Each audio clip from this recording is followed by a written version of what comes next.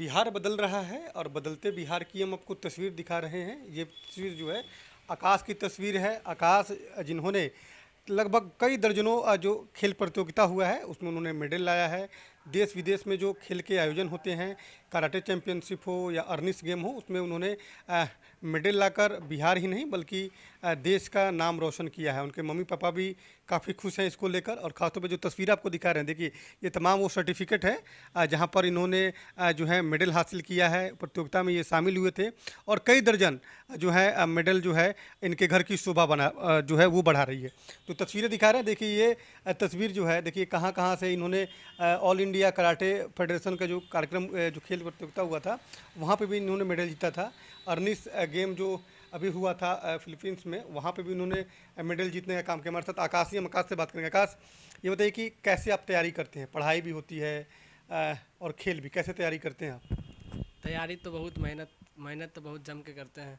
सुबह में सुबह में पहले कराटा सीखने जाते हैं सुबह सुबह फिर आते हैं शाम को सात बजे शाम को सात बजे से आते हैं फिर स्कूल जाते हैं फिर स्कूल से आने के बाद खाना पीना खाते हैं फिर थोड़ा देर रेस्ट लेते हैं फिर रेस्ट लेने के बाद कोचिंग जाते हैं कोचिंग से आने के बाद फिर शाम को छः बजे क्लास में जाते हैं।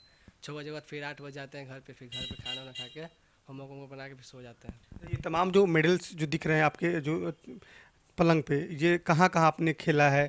क्या क्या मेडल आपने प्राप्त किया और आगे क्या एम्बिशन है? क्या आपने की सोच?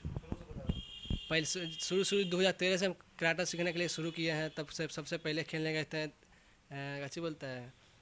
दार्जिलिंग दार्जिलिंग खेलने गए थे वहाँ। पहले सबसे पहले गोल्ड मेडल जीते हैं उसके बाद दो गो पटना में खेले वहाँ भी दोनों गोल्ड मेडल जीते उसके बाद फिर दिल्ली गए कोलकाता गए फिर उसके बाद नेपाल गए भूटान गए फिर उसके बाद ये बाहर विदेश खेलने पहली बार विदेश गए फिलीपींस खेलने फिर वहाँ से ब्रॉन्ज मेडल जीत के आए। कैसा लगता है? वह जब मेडल जीतते हैं आप देश के लिए मेडल लेकर जब आते हैं तो कैसा लगता है?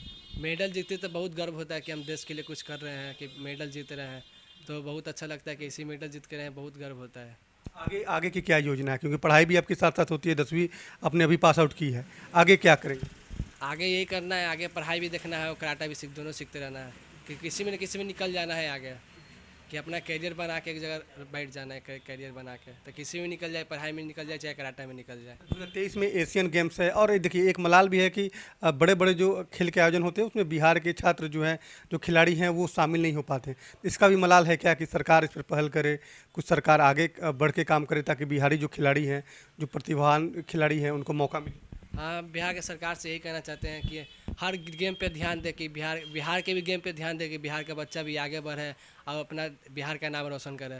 बिहार में भी कई खिलाड़ी हैं जो आ, और मेडल ला सकते हैं। तो लगता है कि सरकार का ध्यान नहीं है तमाम खेल की तरफ़। तो बिहार को बिहार को सरकार को ध्यान देना चाहिए कि बिहार का ही बच्चा जो बच्चा यहाँ पे गाँव में बैठ बैठे हुए हैं वो भी उनको भी ध्यान देगा तो वो भी बच्चा आगे जाएगा बिहार का नाम रोशन करेगा साथ साथ इंडिया का भी नाम रोशन करेगा। क्या सहयोग चाहते हैं आप? सरकार से क्या सहयोग चाहते हैं? सरकार से आज तक अभी तो कोई सहयोग नहीं मिला। कम से कम चाहते हैं कि सरकार कुछ सहयोग- करे कि हम भी आगे बढ़ें।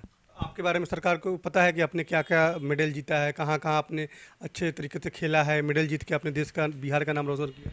सरकार को पता ही होगा उतना टूर्नामेंट खेले हैं उतना वाला उतना सारा मीडिया वाला आता है उतना बिहार का नाम रोशन- रोशन किए हैं तो सरकार को पता होगा तो सर, सरकार ध्यान नहीं देता होगा लेकिन हम यही कहना चाहते हैं कि सरकार ध्यान दे। कोई आर्थिक मदद भी नहीं करता है सरकार? नहीं कोई आर्थिक मदद नहीं करता है। वही चाहते हैं सरकार मदद कर देते हैं। हम भी हम भी जोश से आगे बढ़ेंगे बिहार का नाम इंडिया का नाम रोशन करेंगे। अच्छा तो आपको लगता है कि सरकार अगर खेल के प्रति ध्यान दे तो कई खिलाड़ी हैं जो बिहार का देश का नाम और रोशन कर सकते हाँ। यही बिल्कुल है कि अगर सरकार ध्यान देगा तो जितना ही खिलाड़ी है अपना जोश लगन से मेहनत करेगा बिहार का नाम इंडिया का नाम रोशन करेगा लेकिन सरकार ध्यान देता नहीं है। तो ये यही है कि सरकार ध्यान दे। बिल्कुल, जो तस्वीर आपको दिखा रहे हैं, ये तस्वीर जो है आकाश के उन मेहनत का फल है कि उन्होंने कई देशों में बिहार का नाम रोशन किया है और तमाम सर्टिफिकेट है जहाँ से उन्होंने प्राप्त किया है। तो एक खुशी का पल है। देखिए, आकाश ने नेशनल कई जगहों पर चैंपियनशिप जो कई जो आयोजन हुए हैं, उनमें उन्होंने मेडल लाने का काम किया है।